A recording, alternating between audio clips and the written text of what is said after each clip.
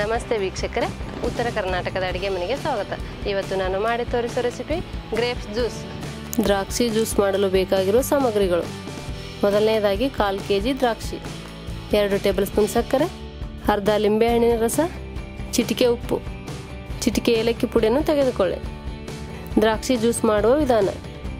ಮೊದಲಿಗೆ ಒಂದು ಮಿಕ್ಸಿ ಜಾರ್ನಲ್ಲಿ ಚೆನ್ನಾಗಿ ತೊಳೆದಿರುವ ಕಾಲು ಕೆ ಜಿ ದ್ರಾಕ್ಷಿಯನ್ನು ಹಾಕಿ, ಚಿಟಿಕೆ ಉಪ್ಪು ಹಾಕಿ ಎರಡು ಟೇಬಲ್ ಸ್ಪೂನ್ ಸಕ್ಕರೆ ಹಾಕಿ ಸಣ್ಣಗಾಗೋರಿಗೆ ರುಬ್ಬಿಕೊಳ್ಳಿ. ಈ ರೀತಿ ಸಣ್ಣಗಾದ ನಂತರ ಒಂದು ಬೌಲ್ನಲ್ಲಿ ಜರಡಿಯಿಂದ ದ್ರಾಕ್ಷಿ ರಸವನ್ನು ಸೋಸಿಕೊಳ್ಳಿ. ಈ ರೀತಿ ಎಲ್ಲವನ್ನು ಸೋಸಿದ ನಂತರ ಅರ್ಧ ಲಿಂಬೆಹಣ್ಣಿನ ರಸ ಹಾಕಿ, ಚಿಟಿಕೆ ಏಲಕ್ಕಿ ಪುಡಿ ಹಾಕಿ ಮಿಕ್ಸ್ ಮಾಡಿದರೆ ಬೇಸಿಗೆ ಬಿಸಿಲಿನಲ್ಲಿ ನಿಮ್ಮ ಆರೋಗ್ಯಕ್ಕೆ ತಂಪನ್ನು ನೀಡುವಂಥ ದ್ರಾಕ್ಷಿ ಜ್ಯೂಸ್ ಸವಿಯಲು ರೆಡಿ.